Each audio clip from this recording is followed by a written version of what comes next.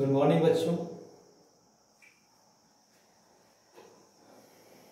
तो I hope कि आप सभी अच्छे होंगे सेफ़ होंगे सिक्योर होंगे। बच्चों, मैं कोई यूट्यूबर्स नहीं हूँ। हमारी मजबूरी है, हम आप सबको पढ़ा नहीं पा रहे हैं, हमारा ऑक्यूपेशन टीचिंग है।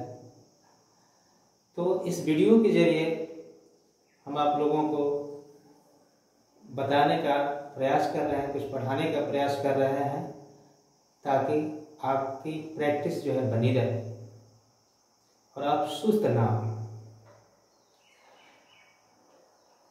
तो चलिए, हम आगे का क्लास देखते हैं। पिछले वीडियो में हम लोगों ने प्रेजेंट टेंस प्रेजेंट टेंस के present continuous present perfect tense को भी हम लोगों ने फिनिश कर लिया था। और अब हमें चलना है प्रेजेंट परफेक्ट कंटिन्यूअस टेंस। देखिए।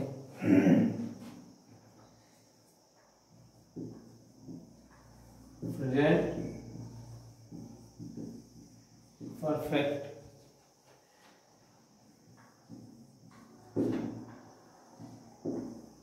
continuous टेंस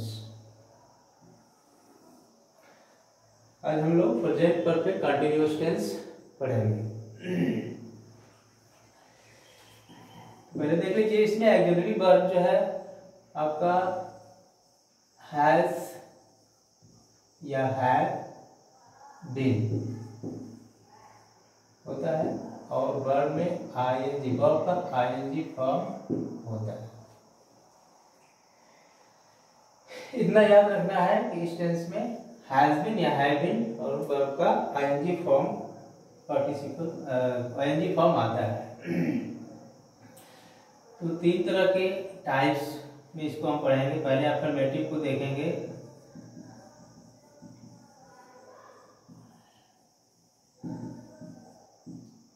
अफर्मेटिव यानी हिंदी में इसको साधारण वाक्य की कहते हैं। सिंपल हम जो है आपको एक स्ट्रक्चर पहले बताते हैं। उस स्ट्रक्चर को आपको फॉलो करने में आसानी रहती है। तो हर सेंटेंस का एक मैं स्ट्रक्चर दूँगा और उसी को देख के हमें फॉलो करना है। बहुत सारे नियम हैं जिनको बताने में वीडियो बहुत लंबा हो जाएगा, इसलिए हम शार्ट में आपको बस स्ट्रक्चर को ध्यान देना है। इसी को याद रखना है। तो सब्जेक्ट हैज़ या have been?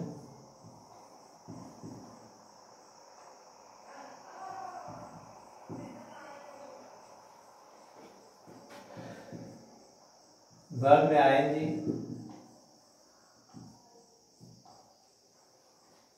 ऑब्जेक्ट अब इसमें देखिए सिंस या फॉर और इसके बाद जो टाइम रहता है वो आता है। ये अफर्मेटिव का स्ट्रक्चर है। इसमें जो है हैज़ बीन आता है और इसमें जो है, समय भी दिया होता है। देखिए टाइम टाइम आता है और ये सिंस फॉर उसी टाइम के लिए यूज़ होता है। टाइम दो तरह के होते हैं। एक निश्चित टाइम होता है अनिश्चित टाइम होता है। तो निश्चित टाइम के लिए हमें सेंस यूज़ करना होता है अनिश्चित टाइम के लिए फॉर ओके तो ट्रांसलेशन में एक, एक हिंदी वाक्यों को हम एक हिंदी वाक्य को यहाँ रखेंगे और उसको अंग्रेज़ी में ट्रांसलेट करेंगे। तो देखिए ये स्ट्रक्चर जो है किस तरह काम करता है उस पर कोई हिंदी में सेंटेंस हम लिख रहे हैं देखिए। मैंने लिखा, वह तीन दिन से स्कूल नहीं आ रही है। और सॉरी अभी नेगेटिव नहीं लिखना है। तीन दिन से स्कूल आ रही है। ये। देखिए, पहचानने का इंग्लिश अगर सेंटेंस इंग्लिश में जो दिया हो तो उसमें हमें देखना है कि हैज़ और है, के साथ अगर बीन है वर्ब में आई जी जुड़ा हुआ है तो हम सीधा उसको कहेंगे कि प्रेजेंट परफेक्ट कंटिन्यूस टेंस है। अगर हिंदी वाक्य है, इसे पहचानना है कि किस टेंस में है तो हम इसको देखेंगे इसमें क्या है, रहा है, रही है, रहे हैं, आ रहा होगा, और साथ में टाइम दिया जाएगा कि काम कितने समय से हो रहा है। स्कूल आने का काम जो कितने समय से हो रहा है? तो तीन दिन से हो रहा है। ये रहना चाहिए। अगर ये तीन दिन से ये चीज़ नहीं रहेगा, वह स्कूल आ रही है, बस तो ये जो है सीधे ओनली कंटिन्यूस टेंस में जाएगा प्रेजेंट कंटिन्यूस टेंस में जाएगा। इसे ध्यान देना है। अगर ये टाइम नहीं रहेगा तो वह स्कूल आ रही बस होगा। यानी कि प्रेजेंट कंटिन्यूस में जाएगा। और ये टाइम अगर दिख जाए आपको तीन दिन से तो प्रेजेंट परफेक्ट कंटिन्यूस में जाएगा। क्योंकि प्रेजेंट परफेक्ट कंटिन्यूस में क्या है? वो परफेक्ट भी है और कंटिन्यूस भी है। यानी परफेक्ट मतलब पूर्ण है। यानी कि जो कार्य हम कर रहे हैं, वो उसका कुछ कार्य तो पूरा हो चुका होता है और कुछ कार्य अभी चल रहा होता है। यानी जारी रहता है कंटिन्यूस में होता है। कंटिन्यू होता है, इसलिए इसको प्रेजेंट परफेक्ट कंटिन्यूस कहते हैं तो इसको हम ट्रांसलेट करेंगे। हिंदी सेंटेंस को हम इंग्लिश में ट्रांसलेट करेंगे। कैसे देखिए, ये स्ट्रक्चर को देखिए, पहले सब्जेक्ट हमें सब्जेक्ट रखना है। सब्जेक्ट हमें पहचानना आता है। ये बताया गया आपको। सब्जेक्ट कैसे पहचान सब्जेक्ट हमारा क्या है इसमें? आप पहचानते हो कि ये जो है, वह जो है, हमारा क्या है? सब्जेक्ट है। तो वह की अंग्रेज़ी हम यहाँ लिख देंगे सब्जेक्ट यहाँ पे क्या लिखेंगे? सी लिखेंगे, क्योंकि यहाँ स्त्रीलिंग वर्ड है, रही है, इसलिए क्या लिखेंगे? सी लिखेंगे वर्क की अंग्रेज़ी। सी सब्जेक्ट हो गया हमारा। इसके बाद हैज़ या हैव यूज़ करेंगे। तो हम क्या सेलेक्ट करेंगे? हैज़ की हैव सिंगुलर पर्सन सब्जेक्ट है तो हम क्या यूज़ करेंगे? हैज़ सी है? थर्ड पर्सन है ये।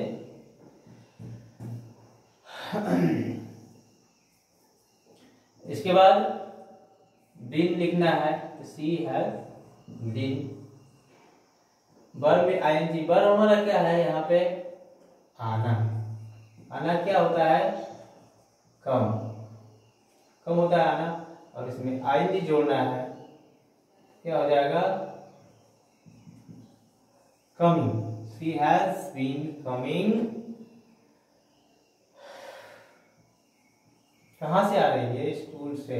ऑब्जेक्ट भी लिखना है ना? ऑब्जेक्ट ये है। स्कूल कमिंग फ्रॉम स्कूल अब सिंस फॉर यूज़ करना है टाइम के लिए। तो टाइम हमारा तीन दिन से है। इसको देखना है कि अब इस, ये जो टाइम हमारा दिया है, इस टाइम के लिए हम क्या यूज़ करेंगे? सिंस यूज़ करेंगे? कि फॉर यूज़ करेंगे। तो हमने बताया कि जो टाइम अनिश्चित होता है मतलब वो पता नहीं होता है कि कितने दिन से। तीन दिन से करें, वो तीन दिन कब से है? पता नहीं चल रहा कब से तीन दिन स्टार्ट हुआ। कब से तीन दिन की बात की है? तीन तीन घंटा तो कब से तीन घंटे की बात हो रही है? ये जो है कुछ पता नहीं चलता है, वो अनिश्चित टाइम होता है। तो अनिश्चित टाइम के लिए हमें फार यूज़ करना होता है। ठीक है? इसलिए यहाँ पर हम फार यूज़ करेंगे और उसके बाद टाइम जो है वो लिख देंगे। टाइम कितना है? तीन दिन। तो फॉर थ्री डेज़ हम यहाँ कर देंगे। आई बात समझ में? ये जो है इसका ट्रांसलेशन हुआ। अब दूसरा निगेटिव के लिए स्ट्रक्चर निगेटिव के लिए देखिए सेम रहेगा, इसमें जो है निगेटिव के लिए नॉट यूज़ होगा। सब कुछ सेम रहेगा, देखिए। सब्जेक्ट हैज़ या है अब यही बीच में नॉट आ जाएगा फिर। नॉट इसके बाद बीन आ जाएगा, बस। सब कुछ वही रहेगा, बाकी सब वही रहेगा बिन प्लस वर्ब में आई रहेगा। ऑब्जेक्ट सिंस फॉर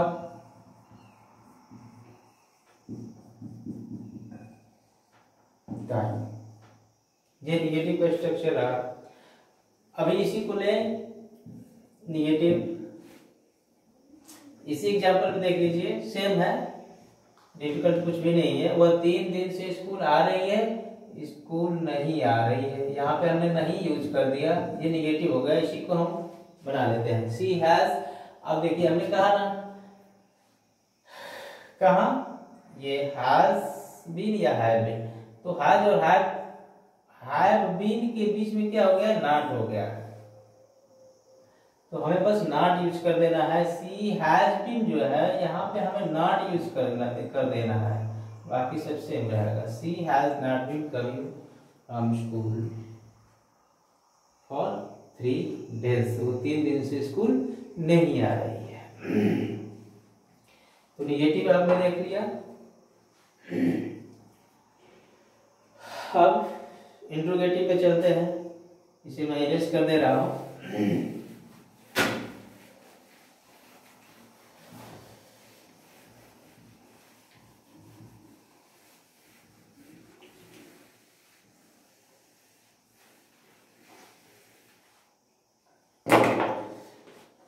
इंट्रोगेटिव देखेंगे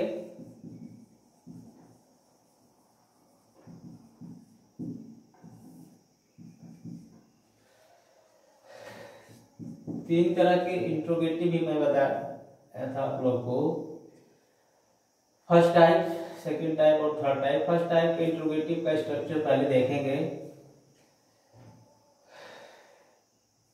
पहले हैज़ या हैव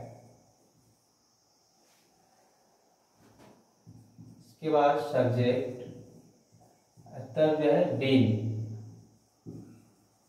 अगर निगेटिव रहेगा तो सब्जेक्ट के बाद, यानी कि बिन से पहले और सब्जेक्ट के बाद यहाँ बीच में नॉट आ जाता है। तो हैज़ हैव सब्जेक्ट बिन इसके बाद वर्ब आईएनजी के साथ आएगा, इसके बाद ऑब्जेक्ट आएगा, आपका जो भी रहे तो नहीं रहे तो छोड़ देंगे। ऑब्जेक्ट प्लस सिंस फॉर इसके बाद जो टाइम लास्ट में आता है। ये।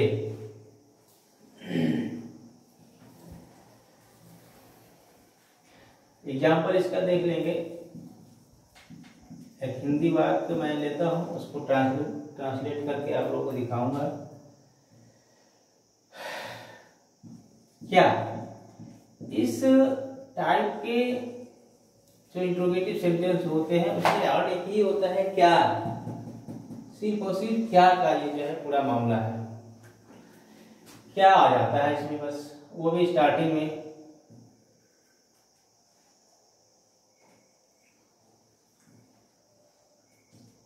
क्या तुम दो दिन से दवा खा रहे हो?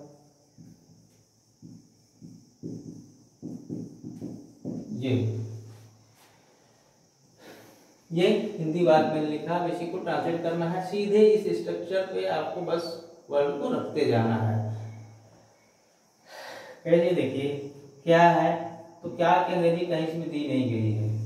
नहीं रखना है, क्या की अंग्रेज़ी नहीं लिखना है। सिर्फ़ एक्टिविटी पर हमारा जो हैज़ है, उसी को इस क्या की जगह पे रख देना है। इस क्या की अंग्रेज़ी यही मान के चलेंगे कि यही रहेगा। ओके? तो क्या के बदले में क्या की अंग्रेज़ी को हम लिख देते हैं। तो इसमें से हैज़ रखेंगे कि हैव रखेंगे, क्या की अंग्रेज़ी क्या होगा? सब्जेक्ट के अकॉर्डिंग टू सब्जेक्ट पहले सब्जेक्ट को देखेंगे, इसके बाद पता लगाएँगे इन दोनों में से क्या यहाँ पे रखना है। तो तुम यहाँ सब्जेक्ट हुआ, तुम। तो तुम जो है, तुम के लिए क्या करते हैं? हैव या आई रहेगा तो भी हैव रहेगा बी रहेगा तो भी हैव रहेगा या और भी कोई प्लूरल्स वर्ड रहेंगे तो उसके लिए हैव यूज़ करेंगे और बाकी सभी सिंगुलर के लिए हैज़ यूज़ करेंगे। तो यू के लिए हम क्या यूज़ करेंगे? हैव तो यू है, यहाँ पे हैव यूज़ करेंगे तो वो हैव जो है, यहाँ की इसकी अंग्रेज़ी मान के चलेंगे कि हो जाएगा। यहाँ पे हैव लिख देंगे। हैव मैंने लिख दिया। इसके बाद कह रहा है कि सब्जेक्ट तो सब्जेक्ट क्या है? हमारा यू है तो लिख देंगे यू हैव यू और इसके बाद बिन रखना है यहाँ पे हम बिन रख देंगे। हैव यू बिन अब क्या होगा? वर्ब वर्ब में आएँगे जोड़ना है। वर्ब क्या है? हमारा खा है वो खाना। तो खाना खाना नहीं दवा खाना।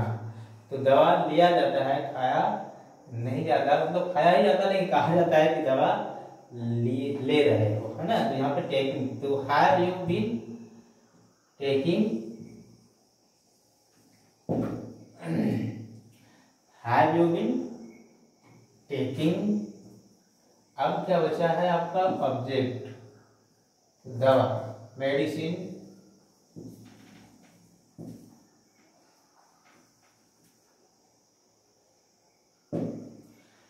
have you been taking medicine अब आ गया क्या? सिंस रखना है या फा रखना है? अकॉर्डिंग टू टाइम टाइम हमारा कहाँ है? यह है दो दिन।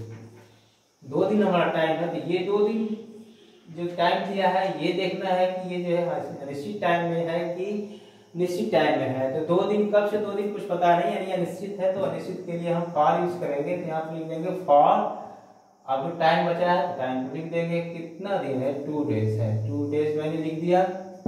ये हो गया translation have you been taking medicine for two days ये रहा। अब चलेंगे सेकेंड टाइप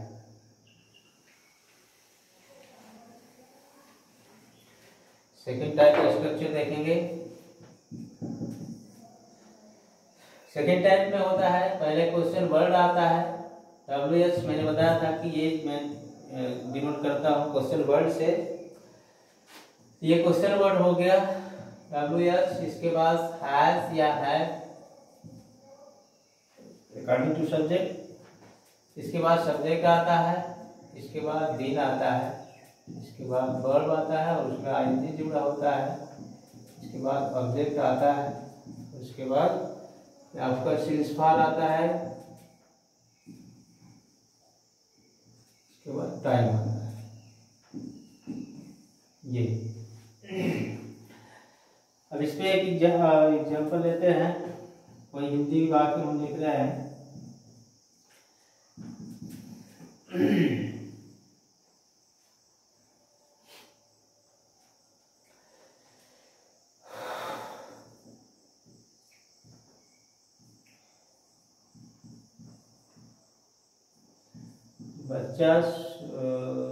सुबह से क्यों रो रहा है ये देखिए प्रेजेंट परफेक्ट कंटिन्यूअस देखिए इसमें बस रखना है। डब्ल्यू एच यानी क्वेश्चन वर्ड क्वेश्चन वर्ड हमारा जो होगा हिंदी वाक्य उसको ढूंढ करके शुरू में लाएँगे और उसकी जो है अंग्रेज़ी को हम लिखेंगे। क्वेश्चन वर्ड कहाँ है? क्यों? ये क्वेश्चन वर्ड हमारा है। इसकी अंग्रेज़ी क्या होती है? वाई इसको उठा के हमें स्टार्टिंग में रखना है। वाई इसके बाद हैज़ या हैव हैज़ हैव क्या किसके तरह से लिखेंगे? सब्जेक्ट की? तरफ़ से लिखेंगे अकॉर्डिंग टू सब्जेक्ट सब्जेक्ट हमारा क्या है? बच्चा। तो वाई एक सिंगुलर है तो क्या लिखेंगे? हैज़ वाई हैज़ चाइल्ड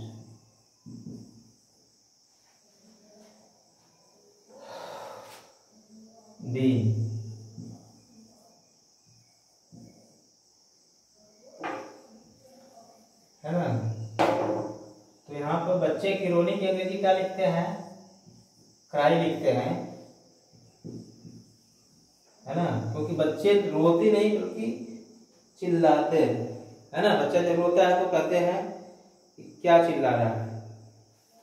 और बड़े जो रोते हैं तो उनको वीक कहते हैं। बच्चे जो रोते हैं तो उनको क्राई क्राई कहते हैं। तो why have child been crying अब देखिए यहाँ पे टाइम क्या दे दिया है हमारा? सुबह से। तो ये जो है कंफर्म सुबह से मतलब कि अभी सुबह की बात हो रही है। सुबह एक निश्चित समय माना जाता है इसके लिए। क्या यूज़ करेंगे? Since why been crying since morning ये हमारा हुआ। Why has child been crying since morning बच्चा सुबह से क्यों रो रहा है। ये हुआ सेकेंड टाइप का इंट्रोगेटिव तो दो ही पढ़ा जाता है कि तीसरा भी हम बताते हैं तो तीसरे को भी हम देख लेते हैं कि वो कैसे बनेगा। थर्ड टाइप इंट्रोगेटिव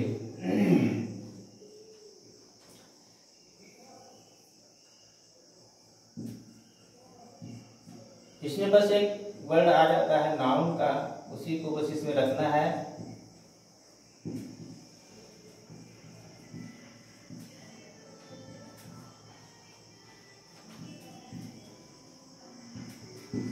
बाद आता है आईएनजी के साथ। उसके बाद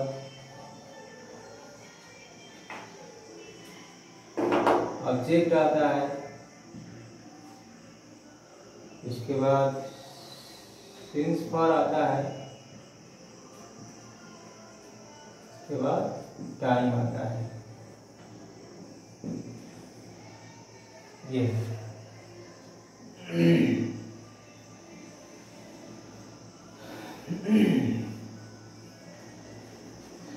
इसका भी एक हिंदी वाक्य हम लिखते हैं और इसको हम लोग ट्रांसलेट करेंगे।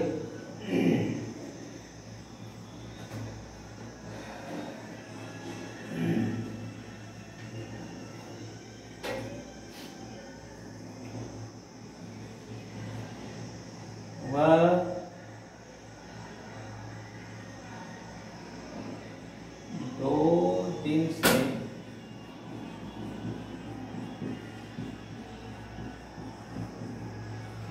किसके घर। रह रहा है। कंटिन्यूअस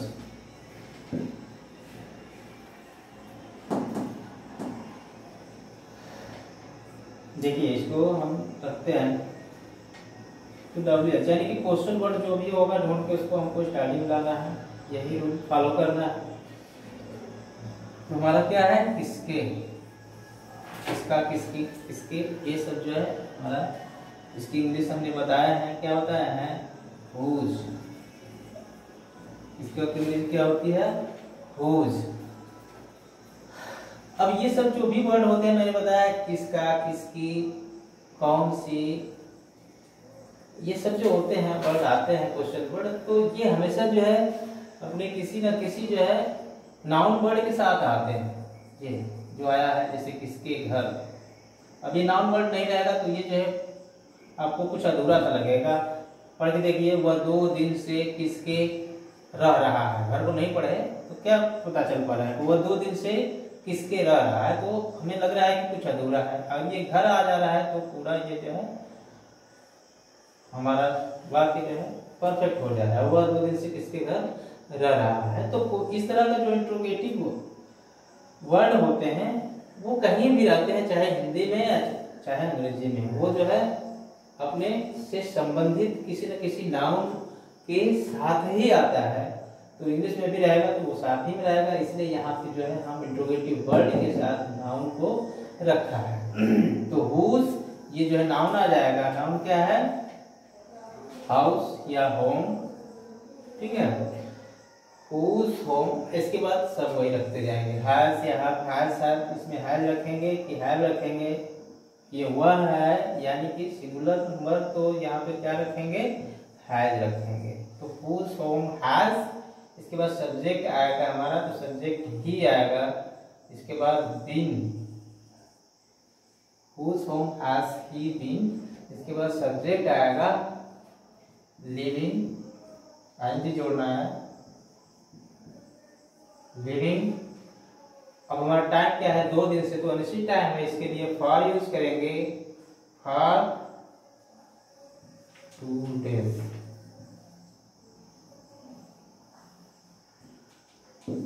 ये।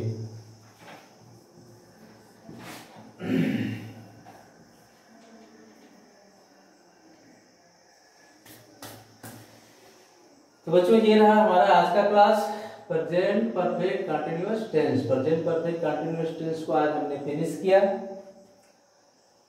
अब इसके आगे के वीडियो में इसके आगे का जो है टेंस हम लोग पढ़ेंगे। अगर इसमें आपको कोई बात अगर नहीं समझ में आई हो तो उसको आप कमेंट में लिख के हमें पूछते पूछेंगे। कमेंट में हम देखते हैं कि बच्चे जो है आलतू फालतू बातें लिखा करते हैं। तो वो सब लिखने के अलावा आपको अगर इस वीडियो में जो भी पढ़ाया गया, जो भी बताया गया, उसके बारे में आप पूछेंगे, सर, ये कैसे हो गया था? तो अच्छा रहता ताकि अगले वीडियो में हम उसका सोल्यूशन आपको बताएँ। है ना? तो आपको कहीं कोई प्रॉब्लम हो तो कमेंट में लिख के पूछें कि, सर, ये वाले पॉइंट यहाँ पे जो है हमें नहीं समझ में आया था या आपने गलत बता दिया था। हो सकता है मैंने गलत बता दिया हो, क्योंकि हम लोग को भी कभी कैमरे को फेस नहीं किया। हम लोग ऐसे आप लोग को क्लास में जाके पढ़ाते थे। अब ये मजबूरी है लॉकडाउन आ गया, इसकी वजह से आप लोग को जो है, हम लोग को कैमरे को फेस करना पड़ रहा है। तो हम लोग को भी थोड़ा हेजिटेशन होता है। हम लोग भी इंसान ही हैं, इसलिए कुछ ना कुछ गलतियाँ हो सकती है हमसे भी। और कई बार हुई है, मैंने अभी क्लास लेकर के अपने वीडियो को देखा है बाद में खुद भी तो मैंने ही कई गलतियाँ पकड़ी हैं तो हो जाती है। क्योंकि यहाँ पे ज़्यादा घबराहट होती है। तो आप लोग कमेंट में पूछें जो दिक्कत परेशानियाँ हो उसके लिए। और हम आज का क्लास यहाँ पे क्लोज करते हैं। आप घर पे सुरक्षित रहिए। अपने बड़ों का कहना मानिए। माता पिता का सम्मान करें। धन्यवाद। जय हिंद।